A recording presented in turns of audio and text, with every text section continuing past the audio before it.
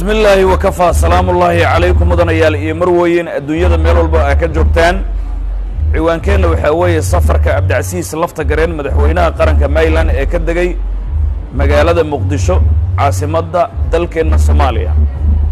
Waxaa laga yaabaa dadka qaarkii inaysan war u haynin sababta cabdicasiis lafta gareen uu ugu safray magaalada muqdisho oo xasarado fara badan oo siyaasadeed ay ka jiraan.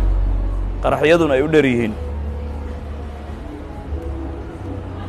cabdicasiis lafta gareen hal qodob uu safa ugu safray magaalada muqdisho. Wax kale uma weeliyaan. Labada gole dowladda federaalka soomaaliyeed stateka mayland laga soo doorto ayaa ku soo dhoweeyey eeraboorka aadan cabde international airport ee muqdisho ku yaalla sidaa wada aragteen.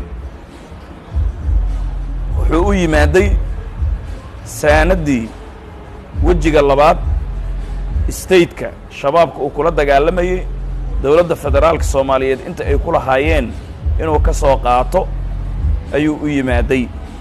Wax kale uma imaanin. Sidoo kalena xildhibaanada digl iyo mirifle ama stateka mayland labada gole ayuu la kulmayaa. Isaga iyo aadan madoobe shirbay waxay leeyihiin dekedda baraawe oo ay soo dhagax dhigeen dhismaheeda sida ugu dhaqsiyaha badan in la dardargeliyo wasiirro labada gole iyo xildhibaanno dowladda federaalka oo stateka ka soo jeeda iyo dowladda stateka mayland ayaa ku wajahan magaalada baraawe ee caasimadda mayland maalmaha soo socda. Safarka cabdicasiis lafta garen waa intaasi. Su'aal baa ka dhalan karta wejiga labaad dagaalkan khayaanada ah ee dhulqabsashada ciidan burburinta ah. Xasan sheekh maxamuud ma ka qayb qaadanayaa? Waa uu jeclaa wuu caashaqay face two. Waa idin caawinayaa buu yidhi ee dowladdii federaalkan ahay ma jirtaa la yidhi. Hal askari adiga kaa amar qaadanaya dagaal islama gelayno. Diblomaasiyadda idaacadaha la marsiiya waa halkeed. Laakiin hoosaa loo kala baxay waxaa lagu yidhi annaga dowladda federaalka qaybaan ka nahay wixii xuquuq aan ku leenahay saanaddeenna mana siisay misena ma aadan siinin haddaadanna siinin waa caddaysanaysaa dowladdii inaan wax ku lahayn annagana waxaa weeye dhinac kaleaan u go'i doonnaa. Ama ama saanaddaasi miya ahaa soo doono? Waa kuu soo diraa uu yidhi. Waxba ha ii soo dirina la yidhi anaa soo doonanaya maxaa iigu soo diraysaa? Luga la'aan maan nahay gacmo la'aan maan nahay. Hadda ka hor baa waxaa nugu dhahdeen soomaaliya. Markii la bixinayo magacaasi hal bay ahayd. Hasha kuwana way soo liseen. Kuwana waxaa weeye way soo maaleenoo kuwana way sasabeen. Waxaa la yidhi idinku mayland haddaad tihiin waa sasabteen annagana waa waa soo maalaynay. Marka lafta garen wuxuu yidhi marka aad noo maalaysaan annagu gacmo la'aan maan nahay. Ma lisan karna miya annaga. Maxaan u sasabaynaa? Yacni marka aadna leedihiin saanadda waan idiin soo diraynaa diyaarad baan idinkugu keenaynaa magaalada muqdisho baydhabo maxaa noogu soo raraysaan annagaa soo doonanayna dowladdana qaybaan ka nahay marka lafta gareen magaalada muqdisho sidaasuu u yimaaday saanaddaasuu qaadanayaa xildhibaanada labada golena wuu la shiraayaa iyo wasiirada statekaasi ka soo jeeda aayaha mustaqbalkooda ay ka wada hadlayaan aadan madoobe oo ugu sarreeya isagana ku jira dowladda soomaaliya statekan matalaya kusimaha madaxweynaha ahna guddoonka baarlamaanka dekeddaasi in la dardargeliyo baraawana laga shaqeeyo markana la soo gaaro afgooyana la soo gaaro shabeellada hoose yacnii dadka isbaarada dhiganaya in toos looga soo sifeeyo. Lafta gareen shaqadiisu waa sidaasi. Waxay ku gambanayaan waa magaca al-shabaab al-shabaabka nafsaddiisii in dhegaha lagu dhufto.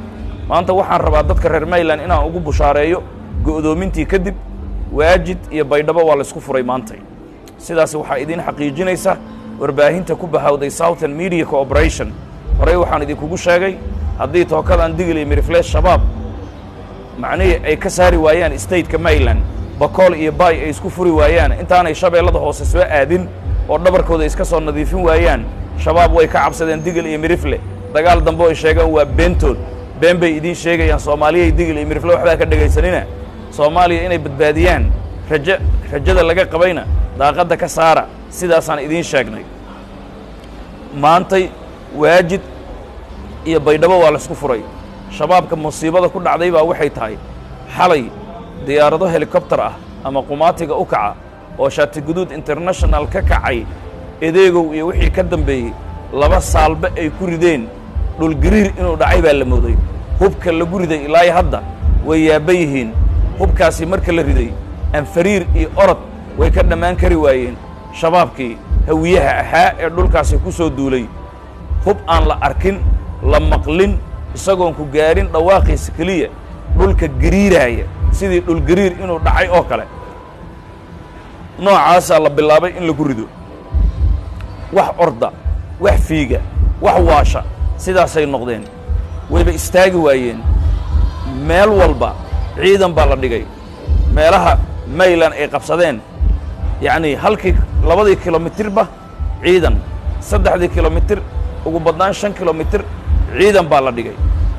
Marka horta waajid iyo baydhabo maanta way isku furan tahay. Digil iyo mirifla isku furay. Isagoona cid kale aan kaashanin oo ma arkayse milatarigiisa efentariga dagaalamaya way isku fureen. Nimankii dabadaa loo soo qabtay waxaana go'aan lagu gaaray. Haddaba waa u sii sheegaa shabaab haddii la qabto in la salbiyo. Digil iyo mirifle saasuu go'aan ku gaaray. Hadduu yahay digil iyo mirifle iyo hadduu yahay hawiye hadduu yahay dir hadduu yahay daarood kuu doona ha noqdo. Waxay go'aan ku gaareen in ay googooyaan. Shabaabka ay qabtaan digil iyo mirifle waxay go'aan ku gaareen in aan la cafinin. Taliye hadduu yahay amiir hadduu kulli in la jarjaro qodobkaas isaga waad ogaateen. Maalmo aan dheerayn waxaan idinku bushaarayn doonnaa magaalada baydhabo iyo magaalada buurhakaba oo hawiye ay kala gooyeen shabaabkooda oo la isku furay ayaan idinku bushaarayn doonnaa. Marka taasi ay dhacdana waxaan idinku bushaarayn doonnaa. Degmada buurhakaba iyo baydhabo isku furan. Wallaweyn iyo leego iyo yaaqbari weyne ilaa iyo afgooye siinka dheer ex control afgooye oo isku furan. Baraawa baabuurka ka soo baxa oo digil iyo mirifle iyo biimaal magaalada muqdisho isagoo nabada inuu yimaado ayaa macnihii isku furan.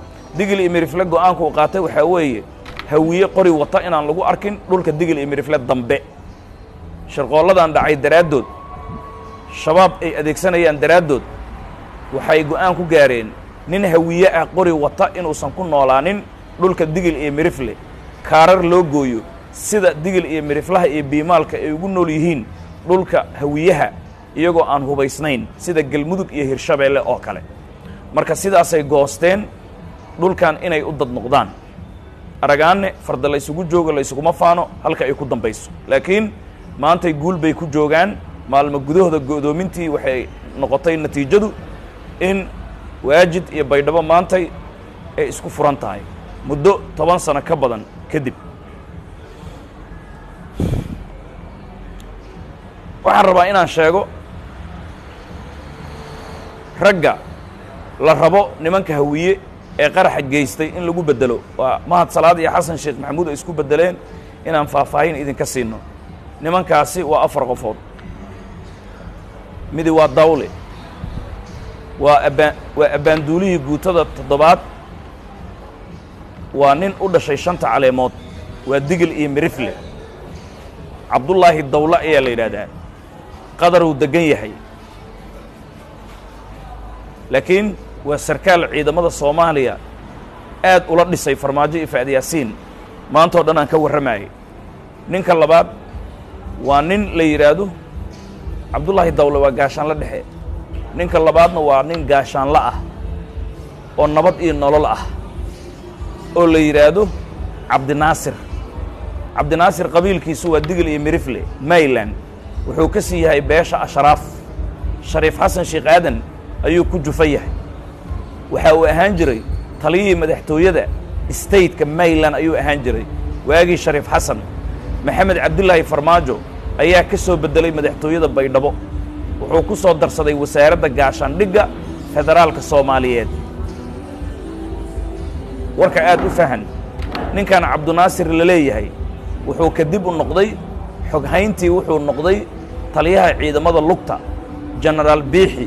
Waa taqaanaan oo tiimka nabad iyo nolol ahaa una dhashay mareexaan ninkaas ayuu waxa uu ahaa xoghayntiisii marka xasan sheekh maxamuud uu yimaaday oo biixi meesha laga qaaday wasiirka gaashaandhigga cabdiqaadir nuur jaamac oo ay ku shaqaystaan hawiyaha ayaa u tegey wuxuu ku yidhi xogta taliyaha lugta biixi nasii maxamed taaliil biixi allaa ninkaas.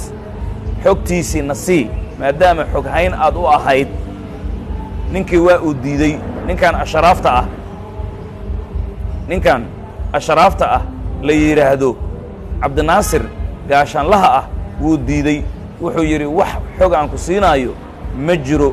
Dagaal fara badan baa dhacay. Wasiirka gaashaandhigga oo hawiye ay soo dirsadeen cabdiqaadir nuur jaamac iyo ninkan cabdinaasir la leeyahay oo ashraafta ah oo gaashaanlaha ah waxaa weeye dagaal baa si hoose u dhex maray. Tabartaa tabartaa bay ku kala tageen. Saas mi ahaa xogtiisi ma soo dhiibaysid mi ahaa? Waayo haddaan fagaaro lagugu toogan waad arki doontaa. Saasaa lagu kala tegey sidaasaa loo soo qabsaday hadda. Macnihii tiimkii nabad iyo nolol wixii ka dambeeyey ayaa la rabaa in tiirka la saaro oo la baabi'iyo la dilo. Qaraxyada raggii fuliyeyna in la badbaadiyo oo hawiyaha ah. Ninka saddexaad waa nin dir ah ninkaasi dirta ah derajadiisu waa kabtan. Waxa uu ka mid ahaa guutadan afar iyo tobanka oktoobar weligiis shabeellada hoosuu joogay. Weliba taliyo saad ayuu ka ahaa ururka hadda la baabi'iyey. Kadibna habar gidir baa buustay. Taliyo saadnimadii waa laga qaaday ninka direed. Derajadiisu waa kabtan. Magaciisa waxaan u malaynayaa in la yidhahdo cabdiqani laakiin boqolkiiba boqol ma hubo waa qaldami karaa soo xaqiijiya laakiin inuu dir yahay kabtan yahay weligiis shabeellada hoose uu ka shaqaynayey oo urur guutadan afar iyo tobanka oktoobarna taliyo saad urur uu ka ahaa ayaan idiin xaqiijinayn haddaan nahay s m c. Ninkaasi isaga ah isagana waxaa weeye nabad iyo nolol go'go'ay buu ahaa. Guutadan culus ee lala dagaalamayo ayuu macnihii qayb ka ahaa. Dadka shabeellada hoose difaacuu ahaa in ay dilaan bay doonayaan ay ku beddelaan nimanka hawiyaha ah ee qaraxyada u geystay ciidamada qaranka soomaaliyeed u badnaa biimaal iyo habargidir biimaal iyo digli iyo mirifle. Kan dirta meeshaasuu maray kan dirta macnihii meeshaasuu maray. Macnihii waa nin shabeellada hoose joogay oo nabad iyo nolol ah in la dilaa la rabaa. Kan afraadna waa nin mareexaan ah.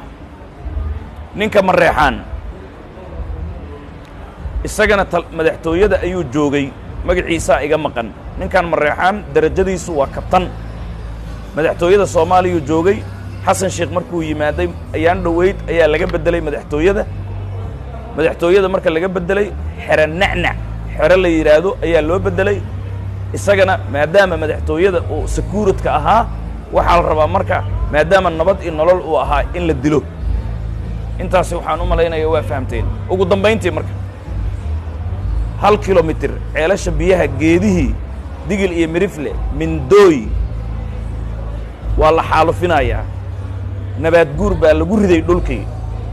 Ceelasha biyaha siinka dheer ilaa iyo afgooye baabuurta taxan geedihii digil iyo mirifle dhulkooda hawiyaa baabi'iyey. Finito la musica waxaana wada shaqaysta geedahaasi ka ganacsada xaalufinta hawiye shabaab ah iyo hawiye ganacsato ah oo dawladda qaarkood ku jira ayaa isku xidhan geedihii digil iyo mirifle xataa jiriddoodaa lala soo goynaya jiriddooda dhulka nabaad guur baa lagu samaynayaa. Waa la qaacinayaa. Waad wada ogtihiin waxaan rabaa digil iyo miriflow geedaha xataa way idiin ducaynayaan ducada geedaha inaad qaadataan dadkan geedihii xataa macnihii eber ka dhigaaya. Baabuurta lagu soo raraya aad u jeeddaan oo dhulkiinni sidaas geedihii xataa roobka maxaan roob u aad leedihiin geedihii eber. Intaasaan idiin sheegi lahayn. Lafta gareen safarkiisa meeshaasu ku qotamaa war dhulka laga ducaysto geedaha laga ducaysto dunyada laga ducaysto. Waa lifekaas idinkaga imaanaya brestiin ee waddanka kosovo. Liibaana adduun iyo aakhiraba